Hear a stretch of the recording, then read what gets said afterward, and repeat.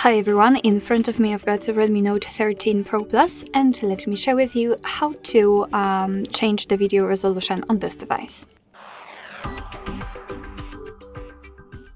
So let's start with opening um, the camera app and currently we are in the standard photo mode so first of all let's switch to the video one, let's tap on it. As you can see right here, we've got um, the um, the frames per second and the resolution notified. You can change it just by tapping on this option, but if you want to, you can simply unroll the top bar just by swiping uh, from the top to the bottom. And here we've got the resolution, which uh, confirms that we've got this one set and the frames frame rate. Mm, so let's simply tap on this option and as you can see we've got three different resolutions, so 1080p which is currently applied, 700, 720p and 4K. So simply tap on the option like to use, as you can see it is 4K in my case and from now on mm, the device will record the videos in chosen resolution.